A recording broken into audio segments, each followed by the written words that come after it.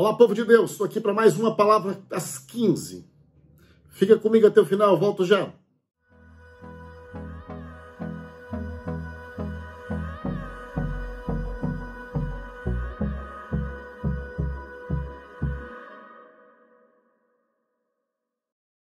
Palavra das 15 já se encontra no ar. Obrigado pela tua presença. Sempre é uma alegria saber que você está aqui. Eu posso dizer que você é bem-vindo aqui comigo. Todos os dias de segunda a sexta-feira. Palavras 15. A palavra de edificação para vidas. Você que ainda não me conhece, está entrando primeira vez neste neste vídeo ou nesta live, é, se inscreve no nosso, nosso canal, na nossa rede social, é, nosso Instagram, começa a nos seguir, nossa página, pr.joão Guimarães. Você é sempre bem-vindo e receberá notificação de uma, mais uma palavra do dia para a tua alma. Hoje estaremos falando sobre segundo livro de Samuel, capítulo de número 2, versículo de número 12. O que é que tem no versículo 12? Diz, os filhos perversos de Eli. O que eu quero dizer para você na tarde deste dia é sobre o tema a nossa promessa, a promessa para nós, a promessa de Deus para nossas vidas, elas são condicionadas à nossa integridade, a nossa conduta.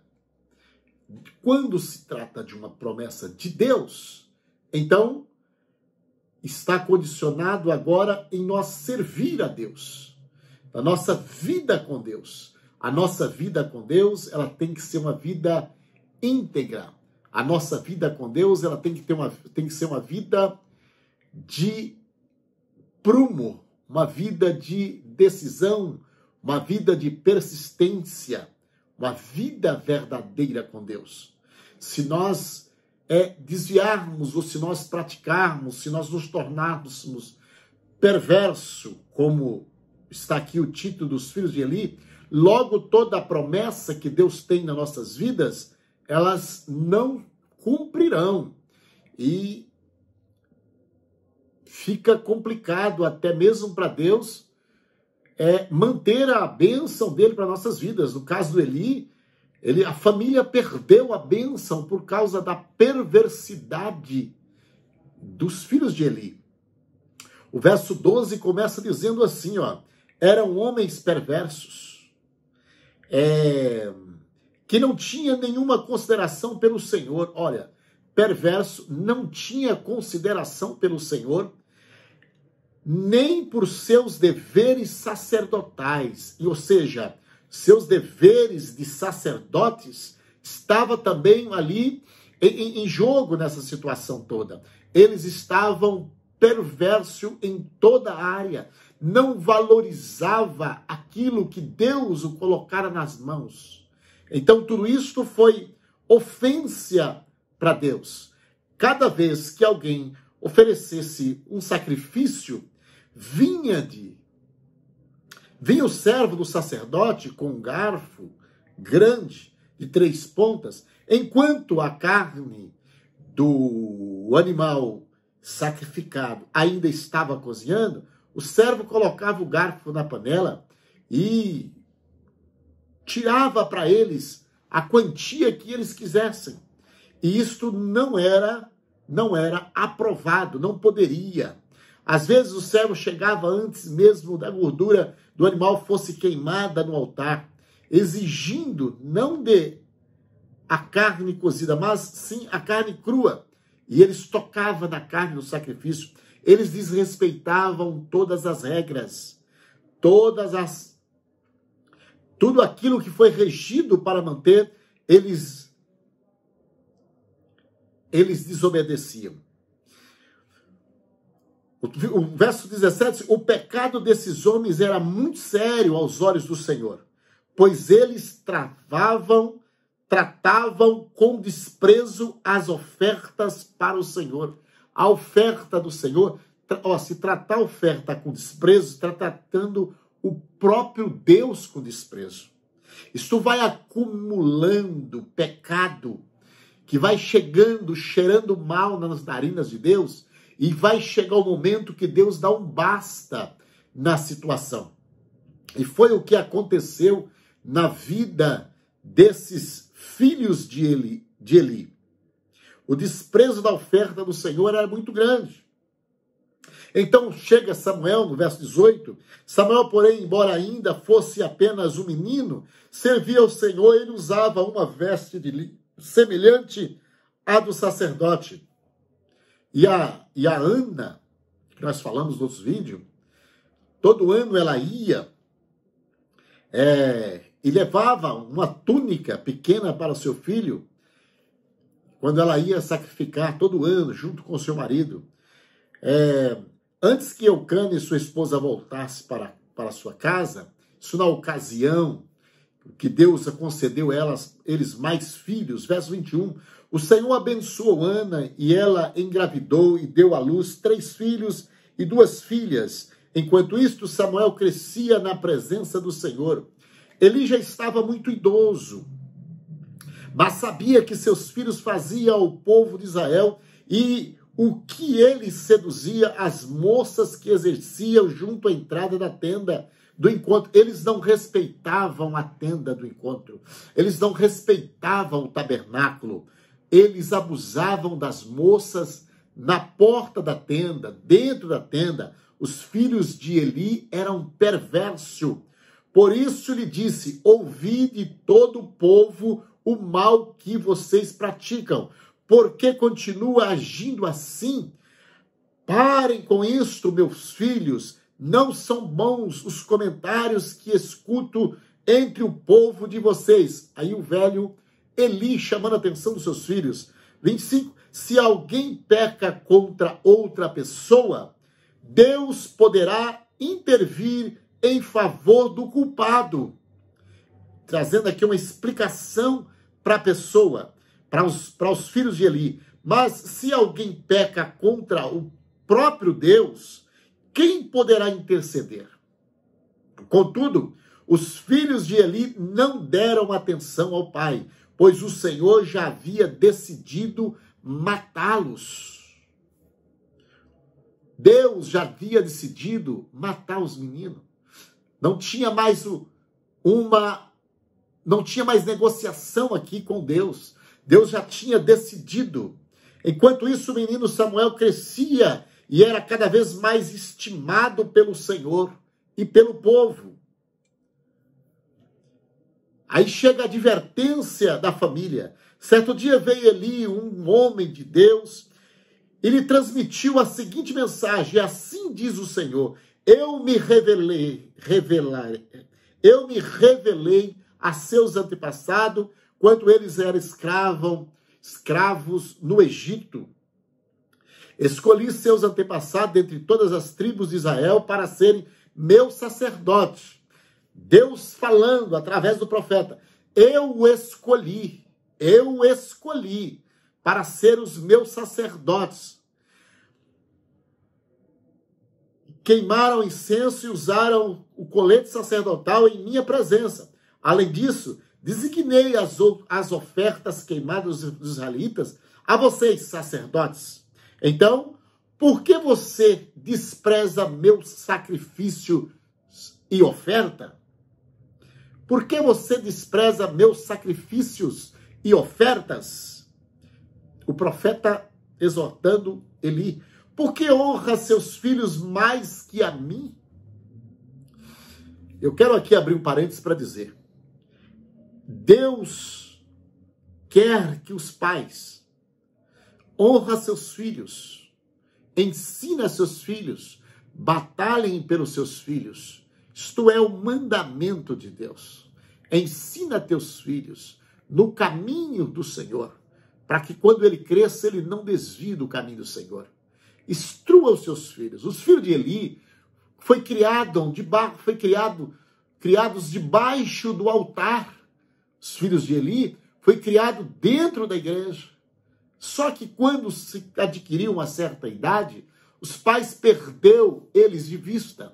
Os pais não conseguiam mais, não tinha mais condição de educá-lo, de trazer conforme ele queria que fizesse. E os filhos foi de queda de abismo chamando outro abismo. Começaram a desfazer da oferta, começaram a comer a oferta crua na frente das pessoas, começaram é, a abusar das moças que entravam na tenda do encontro. Então, aqui o Senhor diz assim, ó: "Então por que vocês desprezam meus sacrifícios e minhas ofertas? Por que honra seus filhos mais que a mim?" Aqui a palavra vai de encontro com Levi. Porque tudo Deus ensina, Deus isso é mandamento, ensina seus filhos. Mas Deus nunca mandou ninguém amar o filho mais que ele. O amor de Deus está sobre todas as coisas. O amor de Deus está sobre o casamento, está sobre a família, está sobre a empresa, está sobre tudo. É por isso que nós fazemos a obra de Deus, porque nós fomos chamados para isso, incumbido para fazer a obra de Deus. E ai de mim se não fazer a obra de Deus. Então o amor a Deus está acima de todas as coisas. E aí entra uma situação que ele chama a atenção de Eli, porque Eli estava dando mais, amando mais, demonstrando mais o cuidado com seus filhos do que com o próprio, Deus, com a própria obra de Deus, com o próprio Deus. Pois você e eles engordaram com as engordaram com as melhores partes das ofertas do meu povo de Israel. Então, eu disse que o tema é esse. A promessa de Deus ela está condicionada à nossa postura, à nossa postura. Verso 30. Portanto, assim declara o Senhor, Deus de Israel: prometi que membros prometi que membros de sua família, da tribo de Levi, sempre seriam meus sacerdotes. Agora, porém, declara o Senhor, isso não acontecerá. Honrarei aqueles que me honram e desprezarei aqueles que me desprezam. Eu preciso repetir esta palavra ou este texto, Deus declara: Eu escolhi os filhos de Levi para ser os meus sacerdotes. Agora, porém, declaro, declara ao Senhor: Isso não acontecerá. Porque honrarei quem me honra e desprezarei quem me despreza.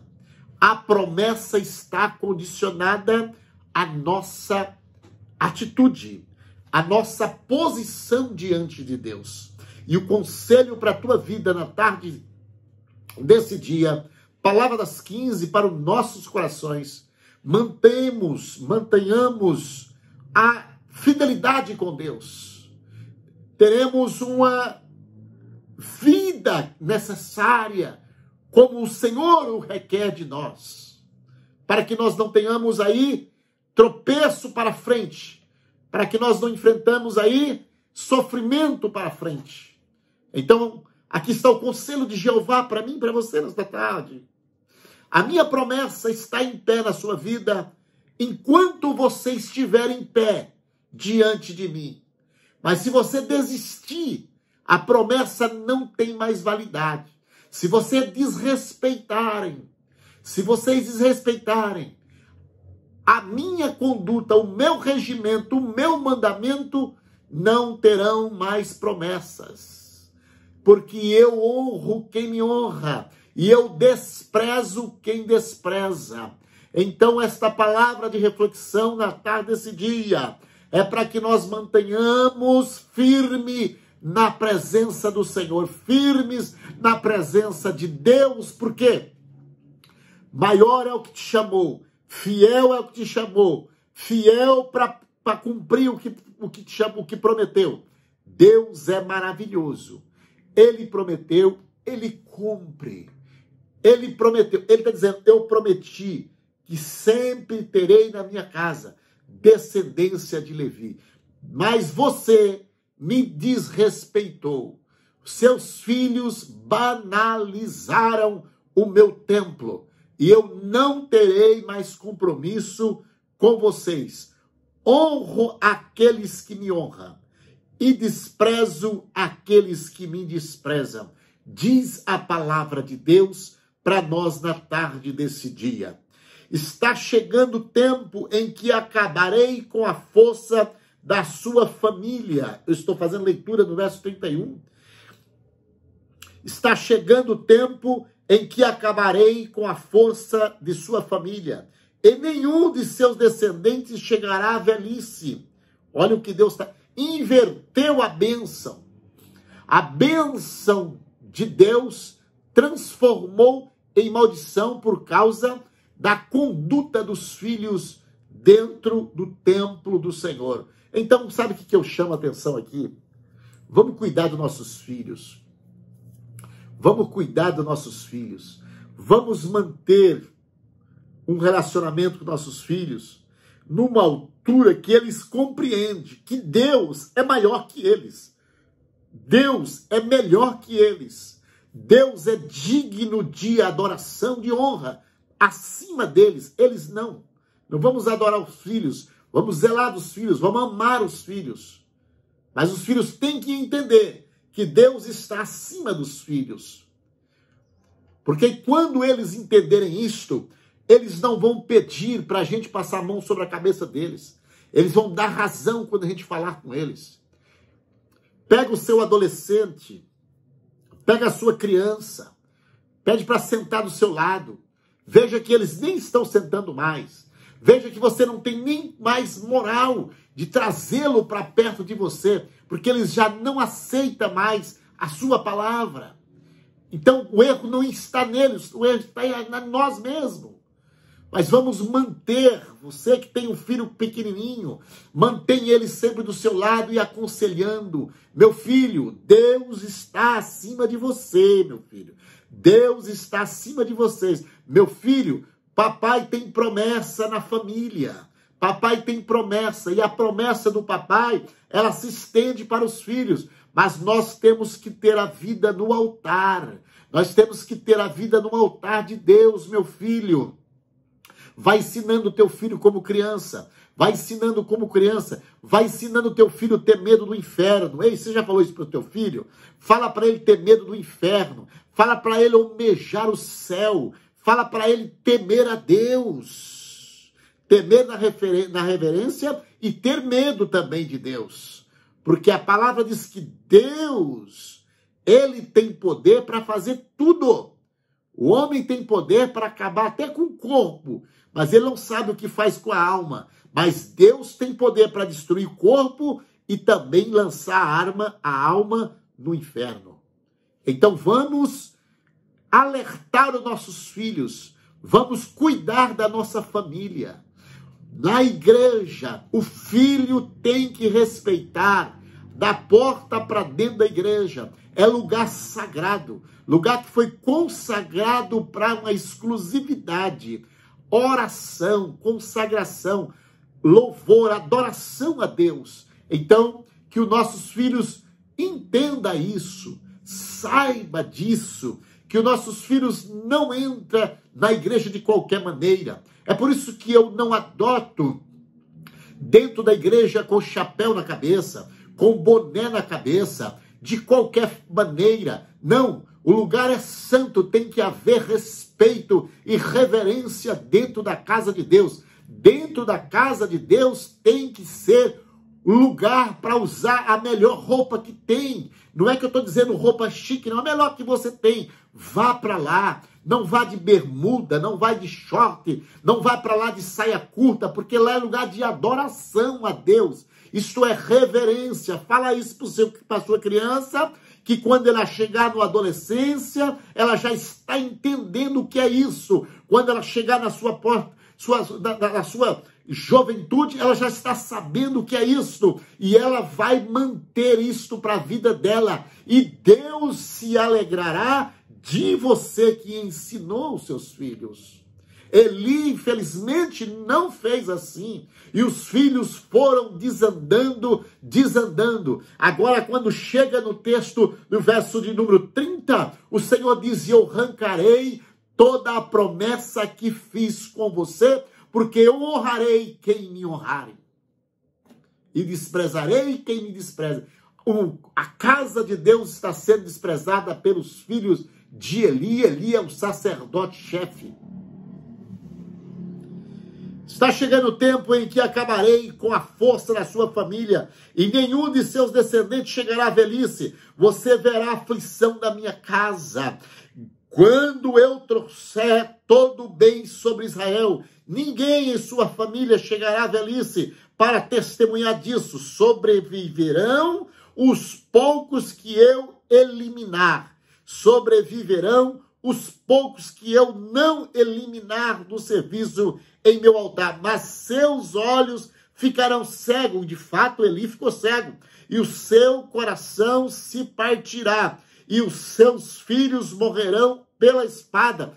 Tudo isso cumpriu. Estou dizendo que a bênção de Deus, se nós for desobediente, ela se transforma em maldição na nossa vida. E para provar que minhas palavras se cumprirão, farei que seus dois filhos Ofni e Fineia morrerão no mesmo dia. E isto aconteceu, veremos os vídeos da frente.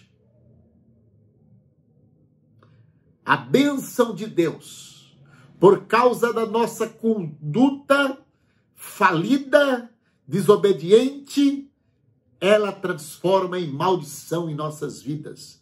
Deus não brinca com a sua palavra. A promessa de Deus está condicionada na nossa conduta. Se a nossa conduta for perversa, Deus transforma a bênção em maldição. Passou de palavra dura. A palavra das 15, ela é uma palavra branda, mas ela é uma palavra que ela traz para correção e também ela consola. Palavra das 15 ela corta dos dois lados, ela não ministra bênção, bênção, ela alerta. Existe bênção na tua vida, mas permanece na posição para que esta bênção não se torne maldição. A vida de Eli, toda bênção, toda promessa que ele tinha foi transformada em maldição, porque ele corrompeu a casa do Senhor. Então levantarei um sacerdote fiel que me servirá e fará tudo o que e fará tudo o que desejo. Estabelecerei a família dele e eles serão sacerdotes diante do meu ungido para sempre. Então todos restam de sua família se curvarão diante dele mendigando dinheiro e alimento e pedindo: por favor, consiga para nós algum trabalho entre os sacerdotes para termos o que comer. Isso, essas últimas palavras aqui. Senhor está dizendo: a maldição entrou porque você não foi fiel. A sua desobediência trouxe a maldição para dentro da sua casa. Trouxe a maldição para dentro da sua casa. Palavra das 15 para os nossos corações nos dias de hoje. Mantenhamos, mantenhamos firme, conservaremos, conservemos a palavra de Deus em nossas vidas. Sejamos homens fiéis, mulheres fiéis com Deus, respeitando a casa do Senhor ensinando nossos pequenos, ensinando nossos filhos para que as bênçãos que Deus tem ministrado em nossas vidas, elas continuam como bênção e não transformam em maldição. Isso aqui é muito forte. É muito forte. O projeto que Deus tinha, está escrito: Deus escolheu Eli para sacerdote seus filhos sacerdotes, prometeu não acabará a sua descendência como sacerdote. Agora, ele está dizendo, ó a situação dos filhos, porque transformou essas bênçãos em maldição. Então todos que restarem da sua família se curvarão diante dele, do, de quem? Do próximo, do sacerdote que eu vou escolher segundo o meu desejo, do meu coração, mendigando dinheiro, alimento e pedindo. Por favor, consiga para nós algum trabalho entre os sacerdotes para termos o que comer. Amados, é muito sério, é muito sério. É muito sério. Vamos agradar a Deus. Vamos servir a Deus.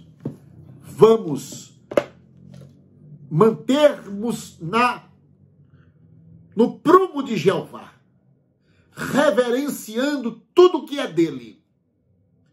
Desde o tapete da igreja, a porta da igreja, a maçaneta da igreja, o altar da igreja, a palavra de Deus, a oferta. Vamos honrar, vamos respeitar. Os filhos de Eli não fizeram isso. E o Senhor irou contra a família toda e transformou a bênção em maldição. Que Deus Guarde a tua casa, a tua família, seus pequenos, seus adolescentes, seus jovens, seus filhos, e que te dê graça, que te dê sabedoria do céu para você poder ensinar os seus filhos nos caminhos do Senhor, respeitando, reverenciando e tendo uma vida saudável na presença de Deus, na casa de Deus, para que a bênção de Deus continue sendo bênção na vossa vida. Palavras 15 para o teu coração. Obrigado pela tua presença. Você é sempre bem-vindo aqui comigo e eu quero orar sobre a tua vida. Jesus amado santo, quero te louvar pela tua bondade, pelo teu poder, pela tua graça. Senhor, nos dá ensinamento, Senhor. Senhor, nos desperta, Senhor, para que nós possamos ter cada dia, meu Pai, temor à tua palavra, temor às tuas coisas, temor, meu Pai. Meu Deus, que nós possamos tocar naquilo que é teu, meu Pai, com temor, meu Deus, e com tremor. Vem, Senhor da glória, a tua paz sobre nossas vidas, em nome de Jesus Cristo, em nome de Jesus. Eu peço a tua presença, fica conosco, meu Pai, no nome de Jesus.